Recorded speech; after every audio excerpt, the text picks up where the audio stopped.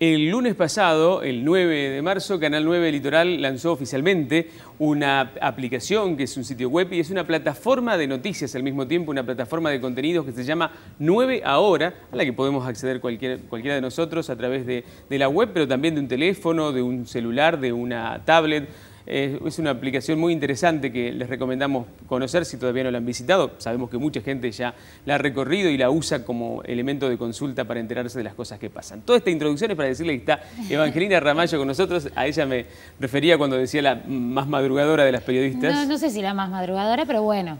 Sí, pero es temprano, sí, sí, sí. ¿Te cambió la vida eso, todos los días, levantarte temprano? Y sí. Las señoras se preguntan cómo hacen las periodistas para estar divinas a las 6 de la mañana. No, no, si me vieran llegar al canal, eh, les puedo asegurar que no. Pero ahí siempre hay personas ahí que se encargan de, ¿eh? levantar esa, esa imagen de tan temprano. Sí. María, María es testigo, ahora que está yendo es testigo de, cómo empezamos la mañana en realidad. María... Sí, claro. Eh, el, tema es, eh, en este caso, el lanzamiento que ha provocado tanta repercusión. La verdad es que... La verdad que sí. Eh, bueno, ustedes lo sabrán mejor, ¿no? La verdad que sí, que el, lanzamiento se preparó. Se mm. preparó durante dos semanas con una tarea de, investigación, también por parte de los nuevos integrantes, con temas vinculados a lo que ocurría el lunes, ¿no? Y el domingo también, el Día de la Mujer, la violencia de género, los casos de femicidio, pero también el Consejo Deliberante. Creo que ese fue el, el punto fuerte del lanzamiento con eh, qué, qué, concejal fue el que más trabajó, cuál no, qué tipo de cosas se trataron. Y este choque, si se quiere, entre el viceintendente y la intendenta también generó bastante polémica. Creo que eso para el lanzamiento eh, sirvió muchísimo para generar esos ingresos, pero ya la, pantalla de Canal 9 Litoral le da eh, la posibilidad a, 9 ahora de, tener mayor llegada hacia toda la provincia. Por más que mucha gente que mira el canal consulte el sitio, tengo la impresión de que hay un público distinto también dentro del sitio, ¿no? Es la idea. Seguramente hay un público joven que no es cautivo de la pantalla, que no está observando el noticiero todos los días.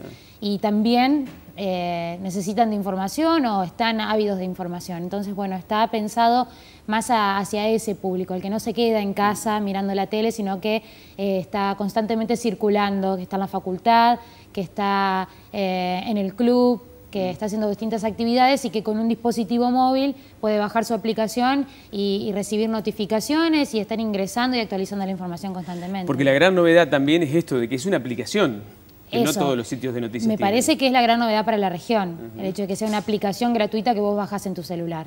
Y hay eh, un, dato que tal, que tal vez tiene que ver más con la cocina de la cosa, pero que me parece destacado. ¿eh? Ahí lo estamos viendo desde un teléfono, mira. así, se ve así lo ve la gente en, un se, celular. se adapta a los distintos dispositivos. Eh, una, forma es en, la computadora, se ve de una manera y en, el, caso de la aplicación se ve de esta manera, permite eh, que sea más ágil la lectura de los títulos y así poder ingresar a la nota que más le interesa. Decía con, respecto a, la cocina del, del sitio, del trabajo periodístico, es que hay una una camada de chicos nuevos, de jóvenes que seleccionaron en un casting abierto y público, y que ustedes habrán observado hace ya un tiempo, que ha sido preparado especialmente para este trabajo. Claro, 350 jóvenes pasaron por, por esta convocatoria abierta, simplemente se anunció y fueron.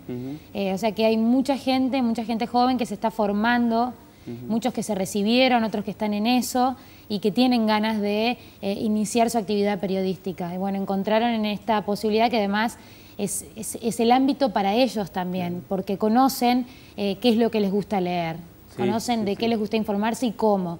Entonces todo eso que ellos traen como ya como experiencia desde lectores, lo pueden aplicar hoy a través de, la redacción en un sitio. Y es una fuente de trabajo que es muy valiosa para, toda, para esos chicos que están comenzando. Y para, sí, hay convenios con la universidad, por primera vez con la con la Facultad de, Ciencias de la Educación, con la carrera de, Comunicación Social, así que hay muchos estudiantes de comunicación que están haciendo sus primeras armas en, la profesión. Y algo muy lindo que este, cuando ustedes pasen por calle 25 de mayo van a verlos a los chicos trabajando, porque está ahí a la vista el... Mucha gente pasa, saluda, así que ellos también este, responden, responden con el saludo, este, hay mucho entusiasmo. Seguro, me imagino, como eh, dando esta primera semana, en la que le han tocado además un montón de temas este, interesantes, como vos señalabas recién, y que permanentemente la noticia te hace encontrarte con cosas atractivas para los periodistas y para el público. Uno por ahí dice, bueno, cómo se genera el contenido constantemente e ir actualizando cada momento para que eh, la persona que entre a la página se encuentre siempre con algo nuevo. Y eso va surgiendo, ¿no? A,